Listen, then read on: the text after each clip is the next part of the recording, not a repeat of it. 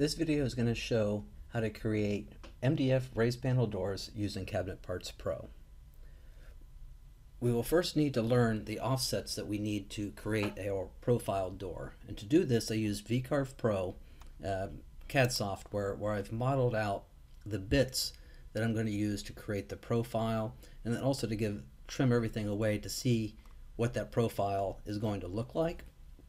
The offsets that I'm talking about is from the edge of the door to the center of each bit. Um, so we've got total of three different profiles using two bits. So we have one that creates the raised panel section, which is this section over here.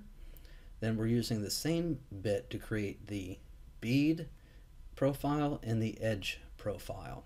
So we're going to write these numbers down um, along with our depth. I've also added a, um, a little bit of an offset between the two.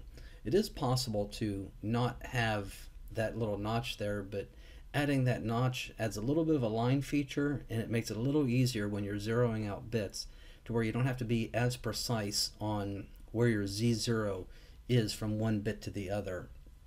If you try to get them exact is possible, but you might end up having a a line there that you have to sand out. Even if your zeros are absolutely perfect, it is a, uh, a directional um, type of thing that happens. So even if they're perfect, you still might end up with a line. Uh, so it is um, a little easier and uh, to put that feature in. So the raised panel bit is not going as deep as the bit that's going to create the bead. So now that we have these numbers written down, we're going to go over to Cabinet Parts Pro and look at how to add a user option. Uh, the user option that we are going to add is for MDF doors. I'm going to start by going into our cabinet settings using the cabinet type drop down list. We're going to scroll down to select doors. I'm Going to set the checkbox to use user options, then come down to our user options button and select the button to add a new feature. Going to enter in a name, MDF doors. It can be named whatever you'd like. The cabinet type that we want to have this option apply to is doors. So I'm going to scroll down and select doors set the option or check the box for user use scripting. And now select the button to open up the script and click doors then open. Finally click save changes and we can now close all of our settings now to enter in the offsets that we need, we need to add a, a menu item uh, to our settings. Uh, so we can add it in two different places. One, our toolbar, or under the tools menu, or actually anywhere we'd like. Uh, but to add that, we will right click in the menu bar, select customize, come down to commands, then all commands. We have a user setting button here, so we're going to click that and drag it up into our toolbar. So we could see we have a new menu item now. We could close. Now clicking the user settings, we have an MDF doors button. That MDF doors, that name is coming from the name that we named that feature. So whatever you named it there is going to be also named the same on this button selecting or clicking the button, we now see we have three sections or groupings of settings for each profile for the bits. So we have the raised panel, the inside edge or the bead, and the door edge. So for the raised panel bit, um, we could just as a reminder go back to VCarve Pro and take a look at what we have there. That is, again, from the edge of the door to the center of the bed. So for the raised panel is 2.6991. The depth, I'm going to go minus 0.33. It's a minus because we're going down into the material. The door inside edge or the the bead of the raised panel door is 2.3813 with a depth of minus 3 eighths of an inch or 0.375. Now the edge or the outer edge profile, it's offset to the outside of the door. So that's going to enter as a negative number. Going back to VCarve Pro to look at our drawing to see that the center of this bit is on the outside of the edge of the door. So we've entered in a negative 0.179 with a depth of minus 3 eighths of an inch. We could close the door settings. Now to quickly enter in just a door, if we're just creating MDF doors and not cabinets, we already have the cabinets, we just need to have doors made for it. We're going to use the cabinet type, selecting doors. Notice that we have a user option button that uh, checked opened up that is automatically checked because we told it to use this script for creating doors the part name is also doors. We could enter in the height. We'll go 30 inches with a depth of 15. That's actually the width of the door. And how many of these that we want. So we want two of them.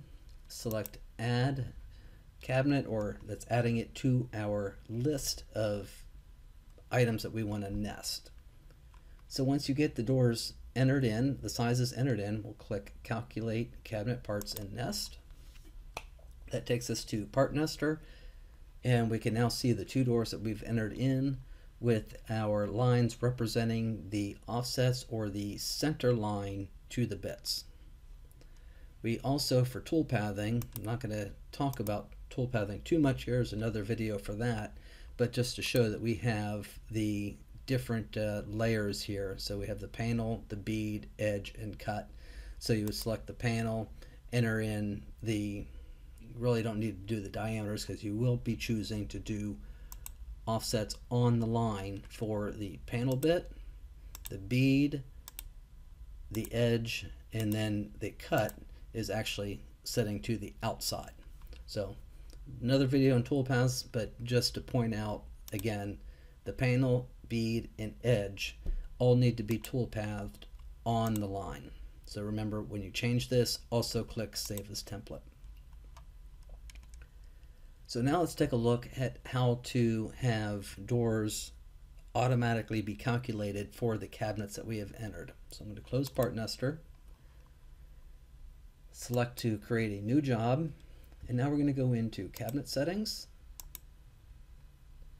I'm going to select a wall cabinet, add the checkbox to add doors and drawer fronts,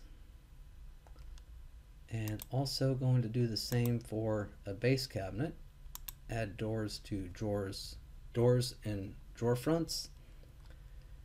We also need to set the material that we're going to use for our doors. Um, so coming down to material we will see doors are uh, MDF that's that's good that's already set. But the drawer fronts I also want to set that to MDF and uh, I typed it in, but if you have multiples, it's safer if you do a right click copy and a right click paste. That's that way to ensure that you have both of them named exactly uh, the same, or might just so you don't get an extra space or any of that. Because if there is an extra space, it will end up nesting on another sheet, uh, or think that it's a different type of material just because it has a little space there. So I'm going to close the material settings. Now, just check that one more time. MDF, and I want to apply to all cabinet types. Just verify going to the wall cabinet that the material is also MDF for the doors and drawer fronts. One last thing we're going to take a look at in the settings, and that is the door settings. This is how it calculates what size the door is going to be.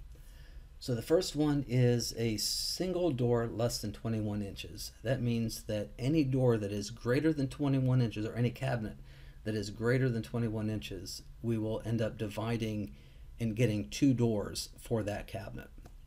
The side reveal and height reveal is basically how much less in width the doors are going to be than the opening of the cabinet. So if we entered in a cabinet that is 15 wide, 30 high, we're going to get a door that is 14 and 7 eighths wide by 29 and 7 eighths high.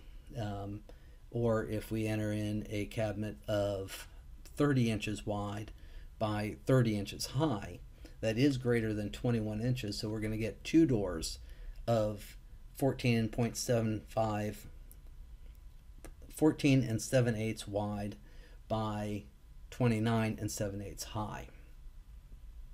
So close the door settings, close our settings, and clicking new to set up a new job.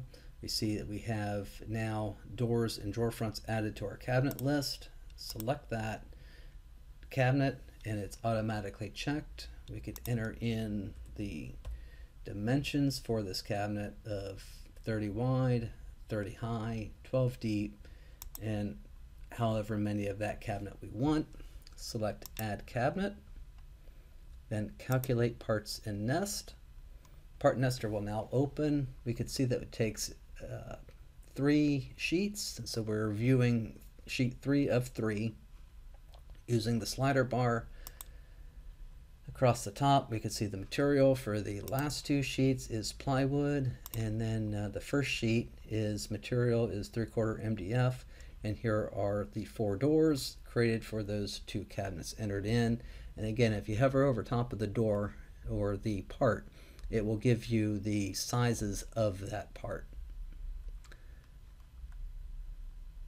so that is how we use and set up Cabinet Parts Pro to create raised panel doors.